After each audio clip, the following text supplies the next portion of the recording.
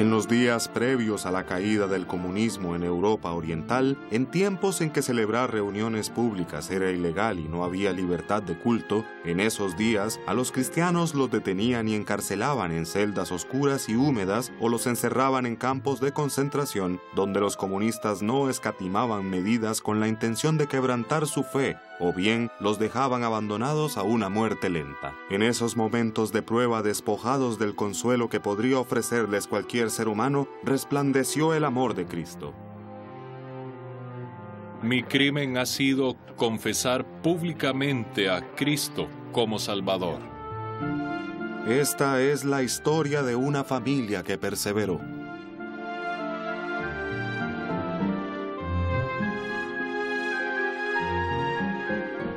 Richard Wurmbrandt, nacido el 24 de marzo de 1909, fue el menor de cuatro hermanos de una familia judía ortodoxa de Bucarest, Rumania. Cuando aún era un niño, su familia se mudó a Estambul, en Turquía. Apasionado por naturaleza y dotado con un genio sobresaliente, Richard se convirtió en un joven con mucha motivación que dominaba nueve idiomas. Luego conoció a Sabina Oster, una joven estudiante de química también de ascendencia judía. Poco después se casaron, el 26 de octubre de 1938. Richard empezó a trabajar como agente de bolsa y la joven pareja pasaba sus ratos libres disfrutando de la vida cosmopolita de la ciudad de Bucarest. Ambos eran ateos, por lo que la religión no tenía la más mínima prioridad para ellos. Como se movían en círculos sociales de gente adinerada, asistían a cantidad de eventos de la clase alta de Rumania. El propósito de su existencia consistía en ganar y gastar dinero. Pero ocurrió algo que tuvo gran impacto en la pareja y su estilo de vida. A Richard le diagnosticaron tuberculosis, enfermedad que se extendía a pasos agigantados por Europa Oriental. A los Wormrand les recomendaron mudarse al campo para recuperarse, de modo que se trasladaron a una pequeña aldea ubicada muy cerca de la ciudad de Brasrow. Fue allí donde conocieron a Peter Wolfkis, un viejo carpintero. Aquel fue un encuentro que transformaría sus vidas para siempre. Wolfkis era un cristiano dedicado que anhelaba compartir su fe con los judíos, pero no había conocido a ninguno en la aldea remota donde vivía hasta que se cruzó con Richard y Sabina. Él les lanzó un reto. Les dijo, ustedes son judíos, pero apuesto a que no conocen a un judío llamado Jesucristo. Jesucristo fue el más famoso de todos los judíos. Acto seguido les dio una Biblia. A decir verdad, era una copia del Nuevo Testamento en alemán. Mi padre tomó el Nuevo Testamento y cuando leyó el Evangelio de Juan quedó muy impresionado. Mejor dicho, más que impresionado. Transformó por completo su manera de pensar.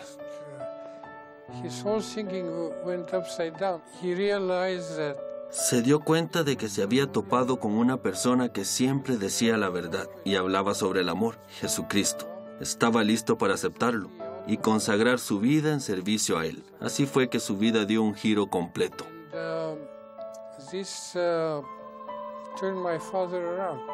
Al leer los Evangelios, Richard se puso a reflexionar sobre su vida y la sensación de vacío que sentía en lo profundo de su corazón. Finalmente, Richard Wurmbrandt, el ateo que solo pensaba en sí mismo, se humilló ante Dios y le abrió el corazón. Su vida cambió de manera drástica y experimentó la felicidad y emoción de su nueva fe. Sabina no lo podía creer. Quería que se la tragara la tierra Cualquier esperanza que albergara de volver a su vida de lujos y fiestas quedó completamente frustrada. Porque lo primero que hizo mi padre, después de recibir a Cristo, fue renunciar a su trabajo en la agencia de corredores. Como era de esperarse, Richard quería que su esposa compartiera su nueva felicidad, pero Sabina no quiso saber nada de la religión. Era una joven de 23 años y lo último que quería era desprenderse de su vida social y de la diversión que le reportaba para reemplazarla por lo que daba por hecho que sería una vida aburrida y excesivamente piadosa. Con lo astuto que era Richard, ideó la manera de convencerla. Para empezar, aceptó una invitación a una fiesta de la alta sociedad. Mucha gente se emborrachó y empezaron a armar alboroto. La fiesta se puso muy desagradable. Entonces mi madre dijo, Richard, regresémonos a casa. Y él le contestó, pero si vinimos para divertirnos, mejor quedémonos. La cosa es que comenzaron las bromas pesadas, y la fiesta fue de mal en peor mientras más se emborrachaba la gente. Al punto en que mi madre se puso a llorar y a rogarle a mi padre que la llevara a casa. Le dijo, si me llevas a casa, me bautizaré por la mañana. La fiesta fue una excelente ilustración de la superficialidad de esas reuniones sociales, y evidentemente las palabras y oraciones de Richard habían sembrado una semilla en el corazón de Sabina. Poco después se afilió a la fe de su esposo y llegó a conocer a Cristo. Como nuevos conversos, sintieron la necesidad de formarse y orientarse en su nueva fe. Se unieron a la misión anglicana de Bucarest, de la cual a la larga Richard se hizo ministro. Richard y Sabina se involucraron activamente en la evangelización y llegaron a ser bien conocidos como cristianos dedicados en el seno de la iglesia rumana. Los rumores de guerra que ya se escuchaban hacían que los mensajes de amor y fe que impartían fueran muy bien recibidos. Ya en 1939, al inicio de la Segunda Guerra Mundial, tuvieron un hijo al que llamaron Mijail. Uno de los primeros recuerdos que tengo de mi infancia es que mi mamá me agarró de la mano y corríamos como locos por un campo abierto rumbo a un refugio antiaéreo en la Segunda Guerra Mundial. La razón por la que estaba con mi madre era porque mi padre, junto con un grupo de seis o siete cristianos que había reunido durante los bombardeos, la mayoría de origen judío, aprovechaban para ir de refugio en refugio a orar con las personas. Esa fue una de las maneras en que mi padre se hizo tan conocido en Rumania. La Segunda Guerra Mundial fue catastrófica. Los alemanes invadieron Rumanía y la vida se volvió muy difícil. En vez de preocuparse únicamente por el bienestar de su propia familia, Richard y Sabina se entregaron de lleno a servir a los demás. La gente estaba asustada y muchos sufrieron grandes pérdidas. Necesitaban a Dios y su consuelo más que nunca. Los Warmbrand hallaron su ministerio predicando en los refugios y rescatando a los niños judíos de los guetos. Richard y Sabina fueron arrestados y golpeados en muchas oportunidades y al menos una vez hasta se libraron de que los ejecutaran. Fueron tiempos difíciles. Al igual que tantas otras, la familia de Sabina acabó en un campo de concentración nazi. Rumanía se tambaleaba debido al caos político reinante. No obstante, los Wormbrand se mantuvieron firmes en sus responsabilidades. En vez de preocuparse por sí mismos, los Wormbrand siempre iban donde hubiese más necesidad sin importar los riesgos. Y eso fue precisamente lo que hicieron en 1945 cuando tomaron el poder los comunistas y Rumanía fue invadida por más de un millón de tropas rusas. Como Richard Wormbrand hablaba más de 10 idiomas, cuando los rusos invadieron Rumania, se metía a las bases militares, así nomás. Llevaba un reloj u otro objeto de valor en la mano y fingía que lo iba a vender. Se agachaba entre los grupos de soldados rusos y hacía de cuenta que estaba vendiendo su reloj cuando en realidad lo que hacía era ponerse a hablarles de Jesús. Y claro, los soldados querían conocer más acerca de Dios. Les contaba sobre Dios y Jesús, porque no sabían nada al respecto. De niños les habían enseñado que Dios no existía y se preguntaban, ¿por qué estoy en este mundo? ¿Dios existe? Richard les explicaba pacientemente del amor que Dios sentía por ellos y les fascinaba.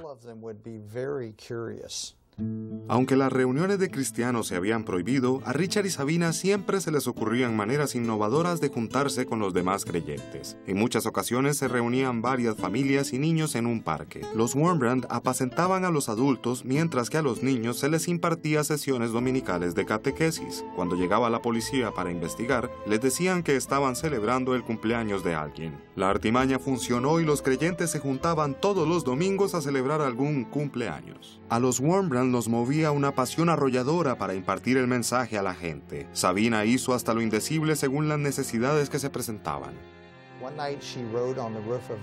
Cierta noche se montó sobre el techo de un tren repleto de soldados rusos. Tenía unos costales llenos de sal que vendía y un montón de Biblias.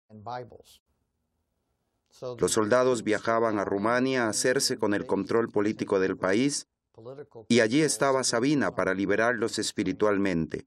Se pasó la noche entera en el techo del tren. Fue increíble ver el amor, la atención y la dedicación con que trataba a la gente que más daño le hacía. En la difícil situación en que nos encontrábamos con los comunistas en Rumania, teníamos muchos enemigos. Gente muy mala, que no dudaría en hacernos el más vil de los daños sin pensárselo dos veces. Esa era la clase de personas a las que invitábamos a nuestro hogar, donde les dábamos nuestro tesoro más valioso y lo recibían con gratitud. Era la gente que más daño nos hacía. En una ocasión se apareció a medianoche en casa de los Wormbrandt el hombre que había sido responsable de las muertes de muchos miembros de la familia de Sabina. El hombre cargaba un enorme sentimiento de culpa y remordimiento. Se echó a llorar y como era ya medianoche y todos dormían, mi padre despertó a mi madre para explicarle quién era aquella persona. Y aquella noche, pasadas las doce, mi madre lo abrazó y lo perdonó, tras lo cual comenzó a poner la mesa y a preparar una deliciosa comida. Es imposible imaginar lo difícil que le habrá resultado perdonar a aquel hombre, pero se las arregló para colmar a aquel señor con el amor de Dios. Al amanecer, el hombre estaba de rodillas orando con los Wormbrandt. Llegó atormentado y salió perdonado, y no solo perdonado, sino cristiano. Ella solía decirnos, ser cristiano no es lo mismo que ser levantador de pesas o deportista. Ellos entrenan cierta cantidad de horas cada día y punto. Ser cristiano significa hacerlo en los momentos más difíciles. Entre 1945 y 1947, los Wormbrand distribuyeron un millón de copias del Nuevo Testamento a las tropas rusas, en muchos casos camuflándolos como propaganda comunista. Richard también contrabandeó los Nuevos Testamentos a Rusia. En 1945, Richard y Sabina participaron en el Congreso de las Sectas organizado por el gobierno comunista rumano al que asistieron más de 4.000 delegados. Aquel Congreso se publicitó a nivel nacional. Le dieron cualquier cantidad de propaganda. Uno por uno, sacerdotes y pastores declararon lo mucho que Stalin y él les habían ayudado a ver la luz la gran libertad de que gozaban bajo el régimen y otras tantas falsedades. Lo que estaba diciendo el gobierno era que a partir de aquel momento ya no se permitiría impartir catequesis los domingos. En resumen, estaban aboliendo una serie de prácticas cristianas, mientras que los cientos o miles de pastores presentes no decían ni palabra, quizás por miedo al gobierno. Sabina le dijo a Richard, ¿por qué no te levantas y das la cara por Jesús? Richard tomó el podio y para la consternación de los oficiales empezó a denunciar al comunismo declarando que es un mal que no debía tolerarse. El comunismo ha hecho mártires de nuestros hermanos. ¿Cómo es posible que la iglesia lo alabe? Proclamó valientemente. Su discurso sirvió de catalizador entre los creyentes e hizo que muchos dieran la cara por sus convicciones. Mientras que unos trataban de sofocar el mensaje de Richard, otros gritaban, Dejen que hable el pastor, dejen que hable. Se armó un caos total. Por fin, la transmisión fue interrumpida. Los comunistas hicieron que lo quitaran del podio. El Congreso se terminó allí mismo. Richard tenía una determinación increíble para predicar el Evangelio y denunciar las maldades del comunismo. A la larga, el gobierno tomó medidas para silenciarlo.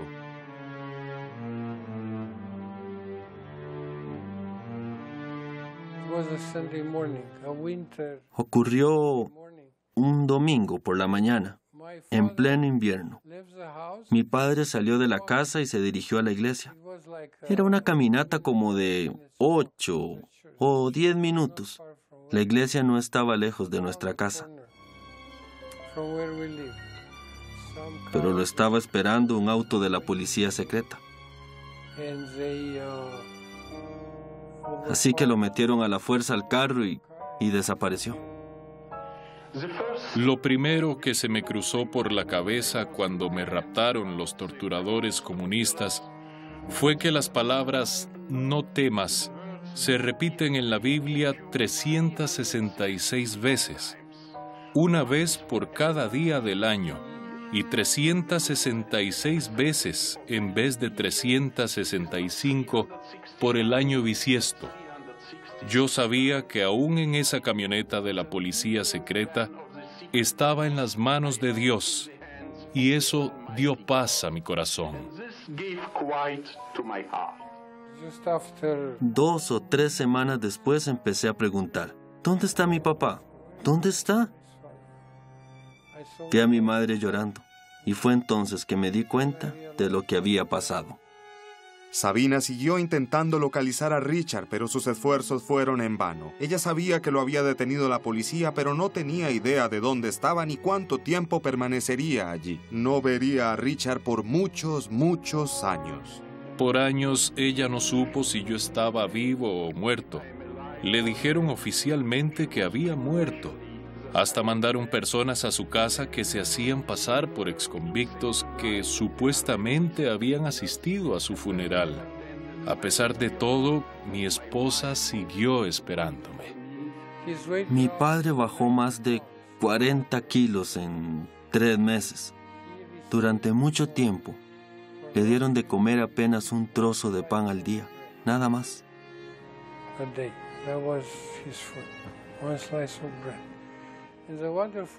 Pero a pesar del hambre, mi padre siguió alabando al Señor.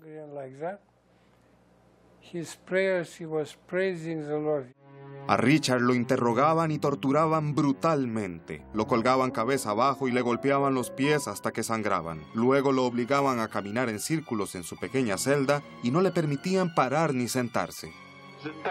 Cuando trataban de lavarnos el cerebro, quien no haya pasado por eso jamás lo entendería. Desde las 5 de la mañana hasta las 10 de la noche, 17 horas al día, nos forzaban a sentarnos de esta manera. No podíamos apoyarnos en nada y cerrar los ojos se consideraba un crimen. Durante 17 horas teníamos que escuchar, el comunismo es bueno, el comunismo es bueno, el comunismo es bueno. Richard recibió un trato horroroso por parte de sus captores que procuraban sacarle información sobre otros cristianos. La tortura física y emocional y el aislamiento fueron agotadores. Eso duró años. Tenía unas cicatrices tan grandes que uno les podía meter el dedo adentro, como para que se den una idea del tipo de torturas que padeció. A veces, cuando se enojaba, se ponía a golpear la puerta de su celda y gritaba, Devuélvanme a Mijail. Mijail era su hijo. Eran tan crueles que hasta ponían niños en las celdas próximas a la suya para hacer ruido, con el propósito de que extrañara a su hijo aún más. Durante años a todos nos tuvieron en celdas individuales. Nunca veíamos el sol, la luna ni las estrellas. No veíamos a ningún ser humano aparte de los hombres que nos torturaban e interrogaban. Jamás nos dieron un libro ni una hoja de papel. Después de muchos años, cuando me tocó volver a escribir, ni me acordaba de cómo escribir la letra D en mayúscula. Sabina tuvo que seguir adelante con su vida. Quizá estaba escondiendo su angustia, pero siguió trabajando como podía con la iglesia clandestina. Le dijo a Mijail que se esforzara en sus estudios para dar buen ejemplo a los demás. Me iba muy bien en mis estudios y aprendí bastante. Luego formaron la primera organización comunista para niños, que llamaron los jóvenes pioneros. Te daban una corbata y una insignia, y los niños que formaban parte de la organización Tenían acceso gratuito a piscinas y clubes infantiles. Había muchos incentivos para niños. Y les dije, no luciré la corbata de un régimen que tiene a mi padre en la cárcel y que niega la existencia de Dios. Así que se armó un tremendo revuelo. Es que arruiné por completo la celebración en ese mismo instante. Acabaron con todas las actividades. Me quisieron echar de la escuela ahí mismo. Imagínese, todo sucedió cuando estaba apenas en quinto grado. Richard siguió soportando torturas en la cárcel sin que le concedieran derecho a un juicio formal. Finalmente, aproximadamente dos años y medio después de su desaparición, débil y enfermo lo hicieron comparecer ante los tribunales para declarar. Cuando le preguntaron si tenía algo que decir en su defensa, estaba tan enfermo que las únicas palabras que logró pronunciar fueron Amo a Dios. El juicio duró 10 minutos. Richard fue sentenciado a 20 años de prisión. Fuera de la cárcel, la vida se puso muy difícil para Sabina y Mijail. El gobierno se apoderó de su pequeño apartamento y les dejaron solo un pequeño cuarto. Más adelante hasta eso cambió. Al poco tiempo, en 1950, ocurrió otro incidente que alteró sus circunstancias. Yo ya no estaba en Bucarest cuando a las 6 de la mañana, ocho agentes de la policía secreta entraron a la fuerza a la casa de mi madre. Para ese entonces vivíamos en un solo cuarto. Le dijeron a mi madre que se vistiese enfrente de ellos. La arrancaron de la cama y luego inspeccionaron la casa, y todo con el propósito de llevársela.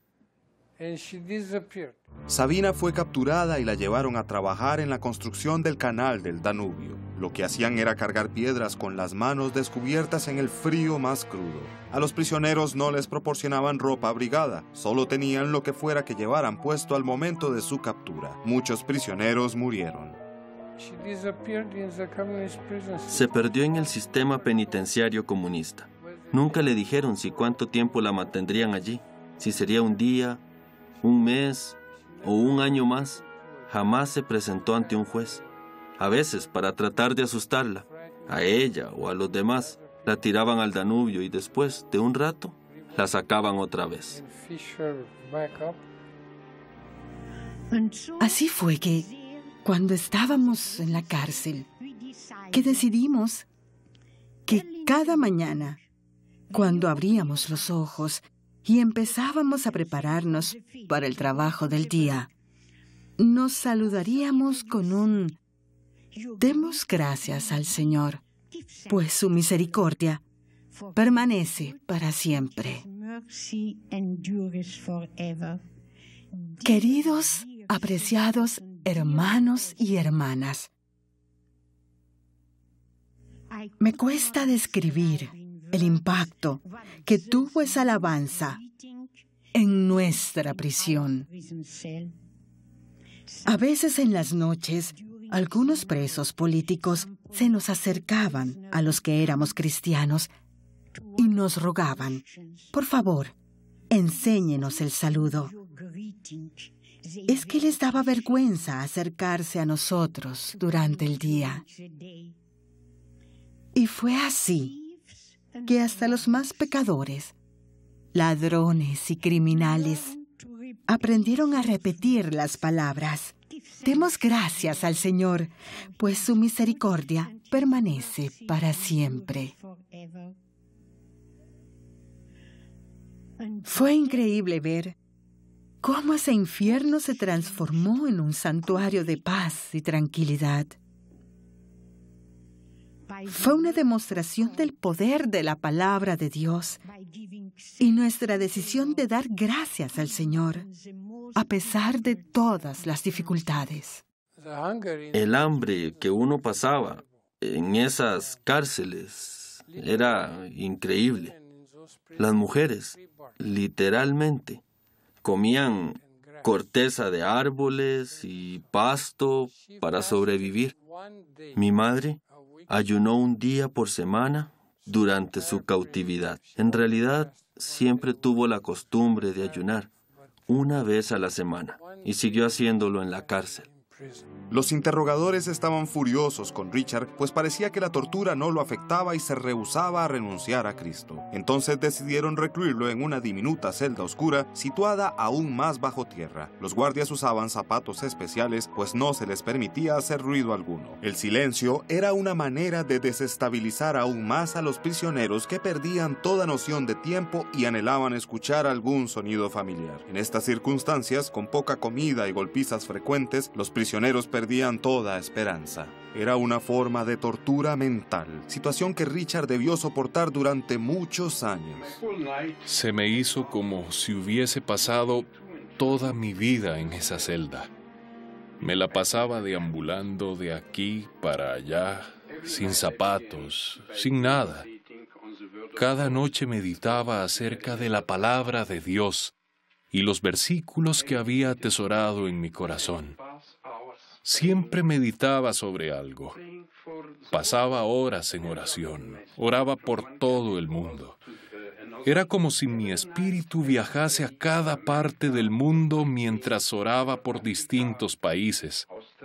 Cada noche oraba por América, por Gran Bretaña, por África, Australia, Nueva Zelanda, Alemania, Francia. Y todas las noches predicaba un sermón. No tenía público visible, pero sé que Dios me escuchaba y los ángeles siempre estuvieron presentes. A ellos sí les interesaba lo que yo decía. Todos los días preparaba un riguroso sermón y lo pronunciaba. También hice un tablero de ajedrez de un par de objetos primitivos que encontré tirados. Jugaba al ajedrez contra mí mismo una y otra vez, y oraba y oraba, y hablaba con Dios. Después empezaron a ponernos droga en los alimentos y éstas nos afectaron la mente, de modo que ya no pudimos orar más en el sentido común de la palabra. Fue uno de los momentos más difíciles de toda mi vida. Una noche traté de recitar el Padre Nuestro. Padre nuestro que estás en los cielos, santificado sea tu nombre. No me acordaba más y durante mucho solo llegaba hasta ahí. Jesús, te amo. Jesús, te amo. Creo que con esa oración me bastaba.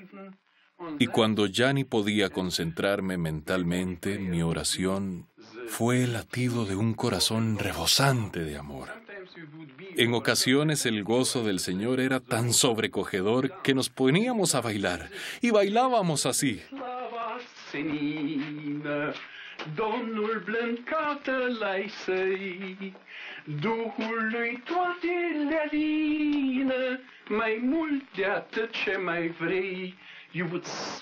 Es que sentíamos unas ganas increíbles de ponernos a bailar. Así de intenso era el gozo de nuestro amado Señor. A veces esposaban nuestras manos a la pared de espaldas contra la pared, de modo que no pudiéramos mover las manos. Cuando nos traían la comida, teníamos que comer como perros. Teníamos las manos atadas.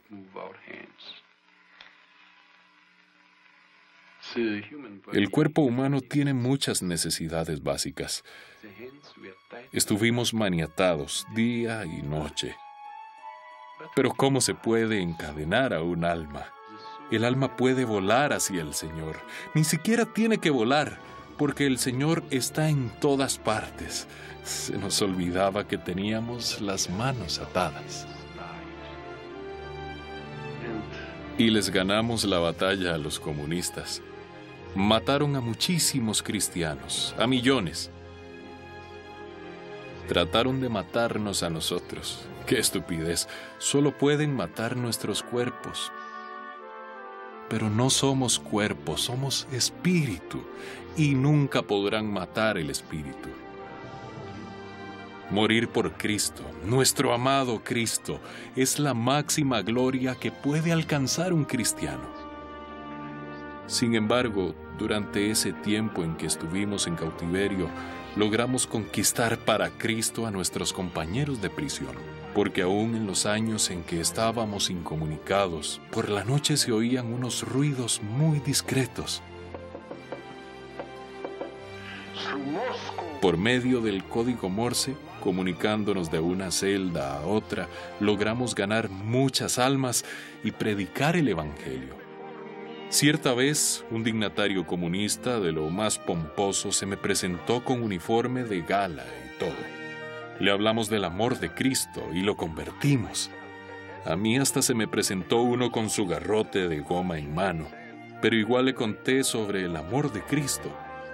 Le conté sobre el cielo, le conté sobre Dios. Dejó de lado su arma para siempre. Me preguntó, señor Rembrandt, ¿cómo es posible que usted me ame? Yo jamás podría amar a alguien que me haya golpeado. Y le dije que todos somos nuevas criaturas en Cristo y que Él nos da un nuevo corazón. Y ahí fue que abrió su corazón a Cristo y se convirtió en un hermano nuestro. Luego lo metieron preso por habernos defendido. Sabina siguió perseverando a pesar de su difícil situación. Incluso, en varias ocasiones la metieron en un pequeño armario donde uno solo podía estar de pie porque tenía clavos en las paredes con el propósito de obstruir el movimiento. A muchos prisioneros los dejaban ahí toda la noche. Se le permitió ver a Mijail solo una vez y brevemente, apenas para motivarlo a no abandonar la fe pero aún en el sufrimiento se ven los frutos, no importa si toma meses o años.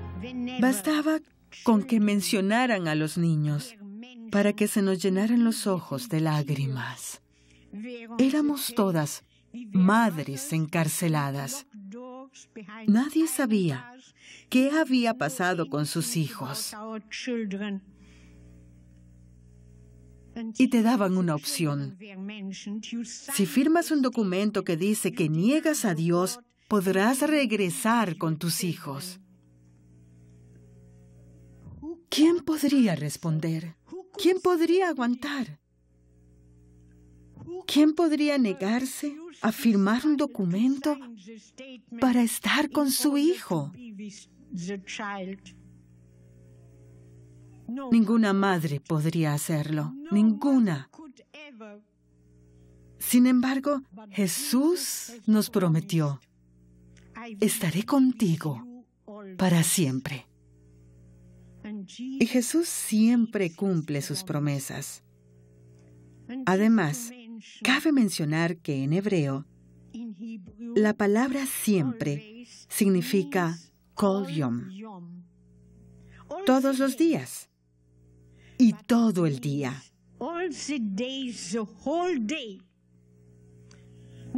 No iba a estar con nosotras diez minutos nada más, como si viniera a visitarnos nomás. Nos prometió que estaría con nosotras todos los días, todo el día. Por fin, en 1953, después de tres años de encarcelamiento, Sabina fue puesta en libertad pero antes, las autoridades la informaron que Richard había muerto en la cárcel. Regresó a casa convencida de que había enviudado a la incertidumbre. No obstante, lo que le habían dicho era mentira.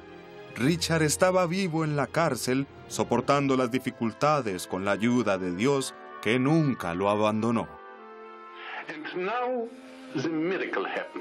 Y entonces ocurrió el milagro. Parecía haber llegado para nosotros el peor momento, cuando nos torturaban más que nunca. Pero una flor, cuando es aplastada, te recompensa con el perfume de sus pétalos. Cada vez que nos golpeaban y se burlaban de nosotros, los amábamos más y más. Hay que dejar algo en claro, que odiábamos el comunismo. Ese sistema diabólico del ateísmo debe ser derrotado a toda costa para que la iglesia del Señor prevalezca. Pero amábamos a los hombres y nos preguntábamos cómo hacer para ganarlos para Cristo. Cuando todo parecía perdido y el dolor se volvió insoportable, de pronto las paredes de las celdas empezaron a brillar como diamantes. He escuchado a Bach, he escuchado a Beethoven en mi vida, he conocido California, estuve en Nápoles. Les aseguro que he visto cosas bellísimas en mi vida, pero nunca, jamás he visto algo tan bello como lo que vi en esas oscuras celdas subterráneas. Jamás escuché música tan hermosa como la que percibí aquel día, porque Jesús, el Rey de Reyes, estuvo allí con nosotros. Él enjugó las lágrimas de nuestros ojos, nos dijo palabras de amor y perdón. Supimos que todo el mal que nos habría sobrevenido en la vida ya había pasado, que Dios lo había borrado la esposa estaba en brazos del esposo. Estábamos con Cristo. Se nos olvidó que estábamos en la cárcel. A veces nos interrogaban, nos torturaban, pero como San Esteban, cuando lo apedrearon, no vio a sus asesinos, sino que vio abrirse el cielo y vio a Jesús a la mano derecha de su Padre. Así también fue con nosotros. Ya ni veíamos a nuestros torturadores comunistas, ni siquiera nos dábamos cuenta de que estábamos en la cárcel. Estábamos rodeados de ángeles y estábamos con Dios. Tras años de recibir un trato inhumano, Richard se enfermó gravemente y fue transferido a un cuarto llamado el cuarto de la muerte, donde mandaban a las personas que no tenían posibilidades de recuperarse. Pero Richard oró y poco a poco empezó a recuperarse ante la incredulidad de los oficiales. Aprovechó la oportunidad para ayudar a los demás prisioneros y conducirlos a Cristo. Aprendieron a rezar y juntos cantaban himnos cristianos usando sus cadenas como instrumentos de percusión. Uno por uno, cada hombre recibió a Cristo. Hasta que cierto día de 1956, ocho años después de que capturaron a Richard, hubo noticias. Resulta que durante sus ocho años de cautividad, mi padre logró convertir a cierto oficial al cristianismo. El impacto que tuvo Richard sobre aquel hombre fue tan profundo que al regresar a su casa, tras un interrogatorio, le dijo a su esposa, hoy conocí a un hombre que pensé que nunca existiría en esta tierra. Me siento mal, quiero irme a dormir.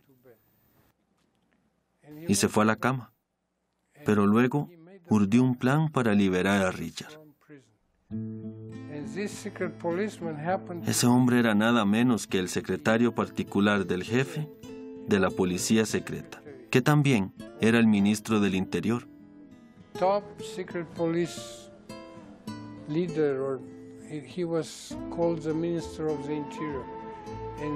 Mi padre le testificó a ese hombre. Le dijo, tú respiras odio. Tu vida está llena de odio. Nos torturas, nos odias, me odias a mí, odias a todos. Algún día vas a terminar odiando a tu propia esposa e hijos. ¿Qué clase de vida es esa? Le dijo que Jesucristo era judío y que lo había convertido a él, otro judío, al cristianismo. De modo que el hombre hizo planes para liberar a mi padre. Como el ministro del Interior firmaba cientos de papeles cada día, lo que hizo fue transpapelar un documento que autorizaba la liberación de Richard Wurmbrand.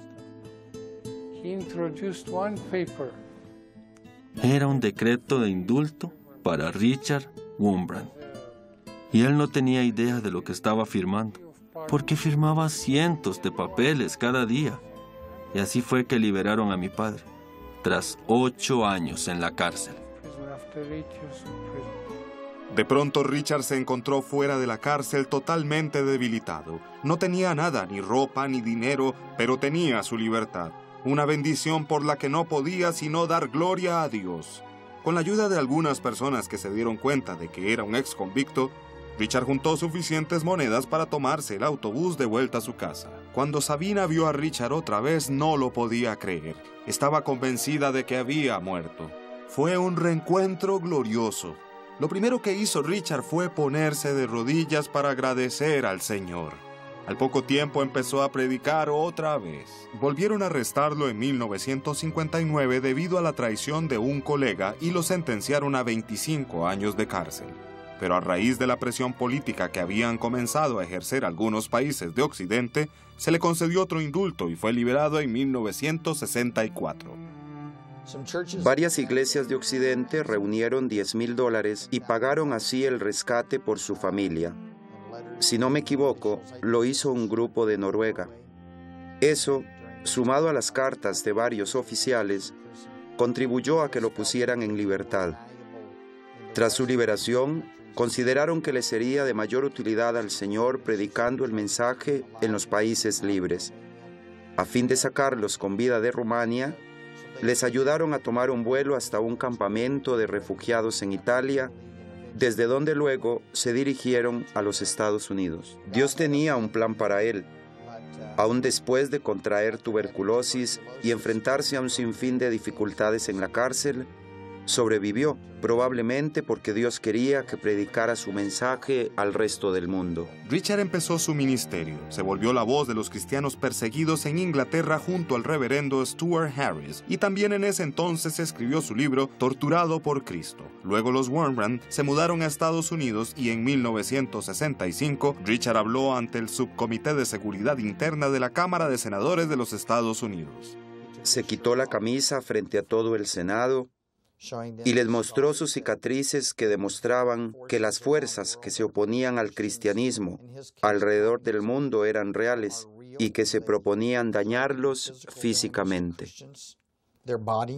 Les mostraré el cuerpo torturado de mi patria y lo que le está sucediendo a los cristianos detrás de la cortina de hierro. Miren esto. Nunca me atrevería a compararme con Cristo, pero tal como Él tuvo que enseñarle sus heridas a Tomás el incrédulo, yo les muestro las mías a ustedes. Miren esto. Y allí, en la cárcel, tomamos una decisión, que si cualquiera de nosotros llegaba a tener la oportunidad de venir aquí, a Occidente, retribuiríamos a nuestros captores creando una misión destinada a testificar a los comunistas.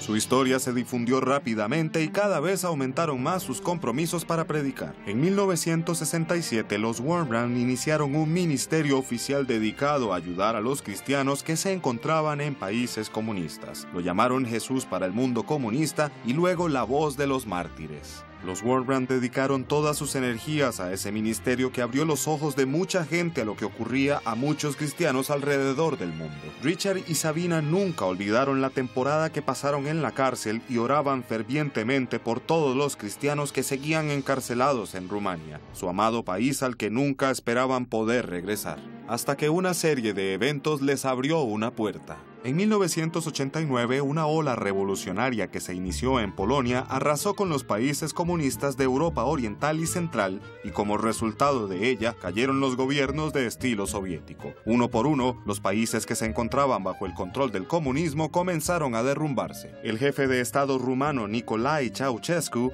un dictador que desde 1965 se aferraba tercamente, por fin sucumbió ante una rebelión sin precedentes por parte de sus propios compatriotas. En Timisoara la gente se juntó públicamente en la plaza central y recitó el Padre Nuestro. El simple hecho de que la gente se juntara públicamente ya era ilegal, y más aún cuando gritaban, El comunismo está muerto, Dios está vivo. El grito se oyó en toda la nación y el gobierno comunista de Rumanía llegó a su fin. Fue un momento de júbilo para los que soportaron tanto sufrimiento durante tanto tiempo. Tras 25 años de exilio en el transcurso de los cuales dedicó cantidad de tiempo a interceder por su patria, Richard y Sabina regresaron a su querida Rumanía, el país donde habían entregado sus corazones a Cristo y habían trabajado tan fervientemente por él. Fue una ocasión memorable y lo recibieron muy cálidamente. Muchos cristianos lo recibieron en el aeropuerto con flores y al llegar predicó en muchas iglesias. Regresaron al país dos o tres veces y el gobierno los recibió con brazos abiertos y les facilitaron oportunidades en todo el país. Muchas cosas habían cambiado en Rumania desde que los Wurmbrandt se fueron. El exdictador Ceausescu construyó una mansión de más de mil dormitorios encima del lugar donde Richard había sufrido la tortura del aislamiento. La casa ahora se encontraba vacía, pues el dictador ya había muerto. Pero debajo de la mansión, en las áreas que antiguamente habían sido celdas, Richard y Sabina ahora podían almacenar Biblias y literatura cristiana que estaría a disposición de todos sus compatriotas. El mismísimo lugar donde habían torturado a Richard, donde pasó tantas horas trabajando silenciosamente en oración, ahora servía para pregonar las palabras del Señor. El comunismo había caído y en su lugar Dios había comenzado su obra. Pero aunque se sentían felices de haber regresado a Rumanía, los Wurmbrand no echaron raíces allí, tenían una misión que cumplir. Cuando vivimos con ellos durante siete u ocho años en la misma casa, en verdad solo los veíamos dos meses al año, porque vivían de las cinco o seis maletas que tenían. Predicaron en más de mil iglesias en Estados Unidos. Se mantuvieron activos tanto tiempo como pudieron. Hasta escribían y publicaban libros desde sus camas en el hospital, de modo que vivieron conforme a su fe, dando amor hasta en sus últimos momentos en la tierra. Sabina se fue con su querido señor el 11 de agosto del 2000 y Richard un par de meses después, el 17 de febrero del 2001. Su legado de dedicación y devoción a Cristo perdurará para siempre. Sus charlas, libros y la manera en la que impartían el mensaje instantáneamente en medio de la oposición y la adversidad sigue siendo un ejemplo para los cristianos en todas partes del mundo. Dieron un nuevo significado al amor y el perdón que muchos cristianos de los Estados Unidos no conocían, ese amor agresivo ante la maldad. La gente se preguntaba, ¿de dónde sacan las fuerzas? Creo que por mi parte lo empecé a entender cuando vi las secuoyas del Parque Nacional Sequoia. Resulta que el secreto de la longevidad de esos árboles es que tienen una corteza muy fina, extremadamente fina. A los insectos y a las plagas les es muy fácil penetrar su corteza. Sin embargo, esta excreta una sustancia que mata a todos los insectos y las pestes. No pueden penetrarla, como en el caso de otros árboles, ya que cuenta con esa sustancia que los mata al instante. Así es la naturaleza de la fe. Si profesas la fe cristiana, pase lo que pase, tendrás la piel frágil, como cualquier otra persona, y por lo tanto sufrirás. Pero, pero si tienes fe y un conocimiento profundo de los evangelios, ni la propaganda comunista, ni ninguna otra idea errónea podrá afectarte. Les cuento que a mi última clase de jóvenes que se preparaban para hacer la confirmación en Rumanía, soy pastor luterano, los llevé un domingo por la mañana al zoológico. Era un grupo de 10 o 15 adolescentes. Entonces los puse frente a las jaulas de los tigres y leones. Una vez ahí les dije, sus antepasados en la fe murieron ante estas bestias por amor a Cristo y murieron felices por Él. Puede que a ustedes también los Quizás lleguen a torturarlos o los maten. Decidan, aquí y ahora, si quieren ser cristianos o no. Con lágrimas en los ojos, dijeron que sí. Y como ya habían aprendido la lección, no los molestamos más con doctrina, ni les pedimos que nos recitaran versos de la Biblia que igual no sabían. Ni siquiera teníamos Biblias. Cuando nos arrestaron, nos lo quitaron todo. Todo, absolutamente todo hasta nuestra ropa. Nos dieron uniformes de prisioneros, pero lo que guardamos en nuestro corazón no nos lo podía quitar nadie. Nadie.